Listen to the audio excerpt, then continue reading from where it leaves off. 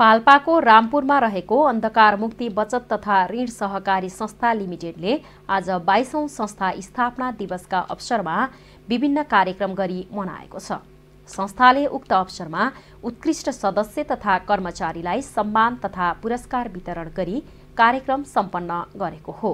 सामना शक्ति र विकासका लागि सद्भावपूर्ण सहकार्य भन्ने मूल नाराका साथ दुई हजार पचपन्न सालमा अठाइसजनाको सेयर सदस्यतामा स्थापना भएको उक्त संस्थाले हालसम्म आठ हजार पाँच सय सन्तानब्बे सदस्यता बनाउन सफल भएको छ त्यस्तै अठाइस हजार पुँजीबाट स्थापित उक्त संस्थाले हाल एक अर्ब पाँच करोड बराबरको ब्यालेन्स सिट बनाएको छ गत वर्ष रामपुर नगरपालिकाले कृषिलाई मात्र युवा स्वरोजगार कार्यक्रम ल्याए तापनि यस वर्षदेखि सो व्यवस्था नरही बाह्र लाखसम्म ऋणको ब्याज सहुलियत गरिने व्यवस्था ल्याएको बताउँदै यसै वर्षदेखि अन्धकार मुक्ति बचत तथा ऋण सहकारी संस्थामा पनि यो सेवा प्राप्त गर्न सकिने कार्यक्रमका प्रमुख अतिथि तथा रामपुर नगरपालिका प्रमुख रमण बहादुर थापाले जानकारी दिनुभयो। मैले जुन स्वरोजगारको कार्यक्रम आएको छ रामपुर नगरपालिकाले मैले पटक पटक भनेको भने गरेको छु तपाईँहरूलाई बाह्र लाखसम्मको ब्याज अनुदान दिने गर्छ जो चाहिँ कृषिमा आधारित हुनुहुन्थ्यो गत वर्ष अहिले हामीले त्यो कृषिलाई मात्रै भनेको अब अलिकति विस्तार गर्नुपर्छ। तपाईँहरूले मोमबत्ती बनाउनुहोस् साबुनहरू बनाउनुहोस् सहकारीबाट पनि तपाईँहरूले लोन लिनुहुन्छ। त्यो लोनको ब्याज नगरपालिकाले तिर्दिन्छ तपाईँहरूलाई बाह्र लाखसम्मको ब्याज अन्धकार मुक्ति बचत ऋण सहकारीबाट लैदिनुभयो र तपाईँले के काम गर्यो? त्यो कामको तपाईँले बिल्कुल प्रपोजल सहित हुनु पर्यो। यो संस्थाले पनि निगरानी गर्छ र नगरपालिकाले पनि निगरानी गर्छ। त्यो बाह्र लाखको ब्याज नगरपालिकाले तिर्दिन्छ त्यो हामीले सहकार्य गरेका छौँ। त्यसले पक्कै पनि लाग्छ त फाइदा गर्छ।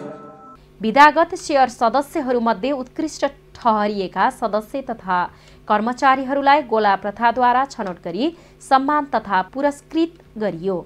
उक्त सम्मानले उनीहरूमा थप हौसला प्रदान गर्ने बताउँदै हालसम्म नगरपालिकाले स्वरोजगार कार्यक्रममा सहकारीहरूलाई विश्वास गर्न नसकेको र यस वर्षदेखि समेटेकोमा संस्थाका अध्यक्ष सागर प्रसाद देवकोटाले खुसी व्यक्त गर्नुभएको छ। सहकारी मार्फत पनि वितरण गर्न सकिन्छ र सहकारीमा पनि विश्वसनीयता हुन्छ र सहकारीमा पनि इमान्दारिता हुन्छ भन्ने सोचका आधारमा जो नगरपालिकाले सहकारीहरूलाई छनौट गरेर वितरण गर्ने काम गर्यो यसप्रति म उहाँप्रति पनि हार्दिक धन्यवाद दिन चाहन्छु।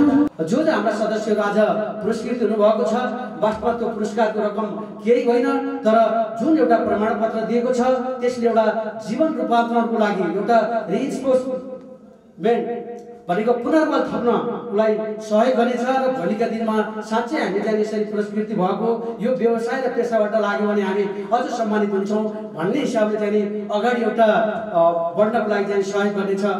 यसै गरी जुनसुकै सदस्यले पनि बचतमा पाएको ब्याज र ऋणमा तिरेका ब्याजको अनुपातलाई हेरेर सदस्यलाई संरक्षित पुँजीको कोषको रकम वितरण गर्ने व्यवस्था यस वर्षदेखि सुरुवात गरेकाले यसबाट सदस्य लाभान्वित हुन सक्ने संस्थाका व्यवस्थापक दिपेन्द्र पौडेलले बताउनु भएको छ। अन्धकार मुक्ति बचत तथा ऋण सहकारी संस्था हिजोको दिनमा मात्र अठाइसजना सदस्यहरूबाट दर्ता हुँदा सञ्चालित संस्था अहिले आएर नौ हजार सदस्यहरूको हाराहारीमा पुगेको छ। हामी पूर्वी पाल्पाका चारवटा पालिकाबाट पाँच स्तरबाट हामी सेवा सञ्चालन गरिरहेको अवस्था छ भने अस्थायी रूपमा पनि हामी सेवा आंशिक रूपमा गएर हामी सेवा सञ्चालन गरिरहेका छौँ। पूर्ण सदस्यहरूले विभिन्न तरिकाले संस्थामा क्रियाशील भई कारोबार गर्दै रहनु भएको छ र त्यही स्वरूप अहिले संस्थाले एक अरब पाँच करोड बराबरको ब्यालेन्स सिट निर्माण गर्न सफल भएको छ।